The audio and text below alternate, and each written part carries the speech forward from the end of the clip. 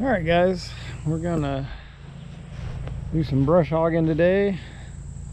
Uh, this stuff I've already sort of made a couple passes. We dropped the tractor off the other day real quick.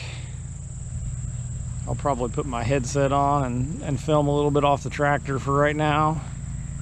And then maybe set up somewhere later down in the in the brush. Definitely uh, want to get some of this stuff knocked down. So uh, it's definitely heavy. You can see it hadn't been bush hogged in three or four years. It, it drags on the tractor pretty good, but uh, we'll get it set up and do a little bit.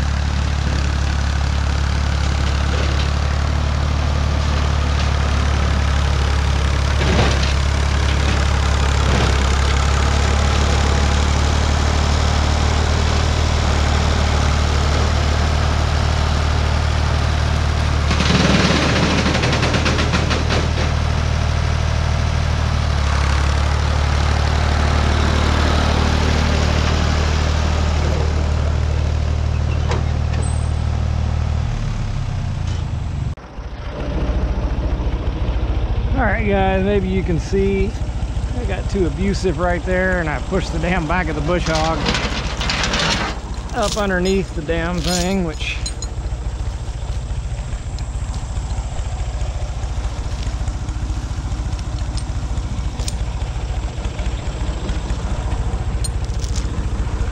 this old bush hog's seen better days.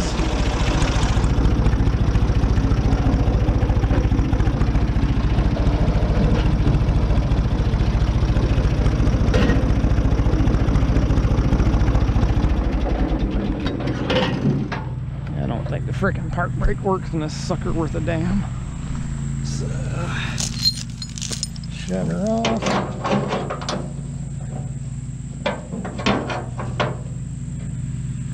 That weld right there broke. Pull on her and see if we can't straighten her back out. Blades hitting it.